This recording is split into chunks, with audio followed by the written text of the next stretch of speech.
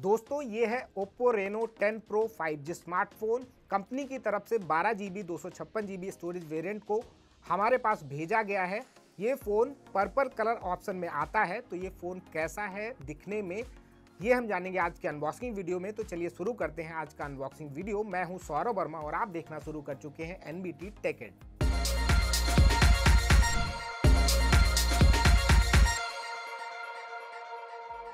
ये है Oppo Reno 10 Pro 5G smartphone इस फ़ोन को हम सीधे अनबॉक्स करेंगे और आपको बताएँगे कि आखिर फ़ोन में क्या कुछ खास दिया गया है। तो चलिए फ़ोन को करते हैं अनबॉक्स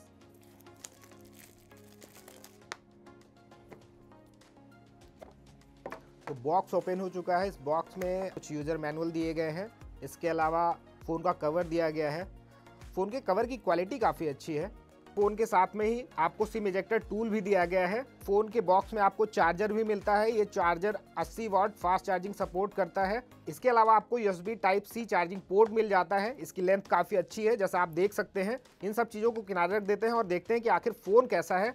तो फाइनली ये हमारा फ़ोन आ चुका है। वाह, क्या शानदार फ़ोन है। आप इस फ़ोन की डिज़ाइन देखिए। बैक से कितना खूबसूरत है फ़ोन। फ़ोन का कैमरा कटआउट बिल्कुल नए अंदाज में पेश किया गया है। कैप्सूल शेप में कैमरा कटआउट दिया गया है। इसमें ऊपर की तरफ़ एक बड़ा सा मेन कैमरा कटआउट दिया गया है। इसके अलावा दो छोटे कैमरे दिए गए हैं। ये फ़ोन एआई पोर्ट्रेट मोड के साथ में आता है। इस फ़ोन का कैमरा कटआउट खासकर मुझे काफ़ी अच्छा लगा है। इसके अलावा फ़ोन का रियर भी मुझे काफ़ी अच्छा लगा है, क्योंकि ये एक प्लास्टिक फ्रेम में फ़ोन आता है। लेकिन देखकर आप बिल्कुल भी नहीं कह सकते हैं कि ये फ़ोन प्लास्टिक फ्रेम में है। आपको ऐसा फील होगा कि ये फ़ोन ग्लास फिनिश में आता है, ये फ़ोन बिल्कुल आपको प्रीमियम स्मार्टफ़ोन का फील देता है। अगर फ़ोन के फ्रंट की बात करें तो फ़ोन का फ्रंट जो है वो कर्व डिस्प्ले के साथ में आता है मतलब फ़ोन जितना बैक से खूबसूरत है, उतना ही कंपनी ने फ़ोन को फ्रंट से भी खूबसूरत रखने की कोशिश की है। चलिए फ़ोन को सेटअप कर लेते हैं और देखते हैं। अगर फ़ोन के होल्ड की बात करें तो जब आप फ़ोन को हाथ में लेते हैं तो उस वक्त हल्का सा वज़न फ़ोन महसूस होता है। मतलब ये शायद 200 ग्राम के आसपास तक का स्मार्टफ़ोन है। लेकिन इस फ़ोन की सबसे अच्छी बात है कि जब आप फ़ोन को ज़्यादा देर तक होल्ड करते हैं तो इस पर उंगलियों के निशान नहीं आते हैं। आप बिना कवर भी इस फ़ोन को आराम से इस्तेमाल करें तो भी उंगलियों के निशान नहीं आते हैं। इसकी वजह है कि ये फ़ोन ग्लॉसी फिनिश में आता है। तो इस हिसाब से ये फ़ोन मुझे काफ़ी शानदार लगा। डिज़ाइन में ये फ़ोन बेहद शानदार है। फ़ोन सिक्योरिटी के लिहाज से काफ़ी अच्छा है, क्योंकि इसमें इन डिस्प्ले, फिंगरप्रिंट सेंसर का सपोर्ट दिया गया है।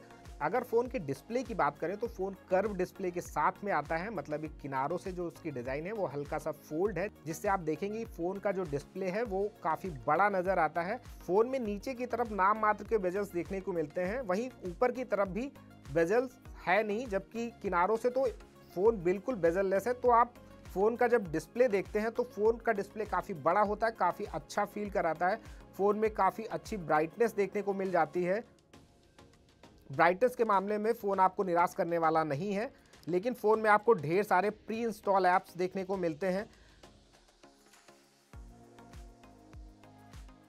फ़ोन बारह जी रैम सपोर्ट के साथ में आता है। इसमें आठ जी एक्चुअल रैम है, जबकि फोर वर्चुअल रैम सपोर्ट दिया गया है। फ़ोन एंड्रॉयड 13 सपोर्ट के साथ में आता है। तो ये है फ़ोन की कुछ डिटेल जो फ़ोन के अबाउट सेक्शन में दी गई है। तो आपको रिव्यू वीडियो में बताएँगे कि आखिर फ़ोन की स्पेसिफिकेशन कैसी है, फ़ोन इस्तेमाल में कैसा है।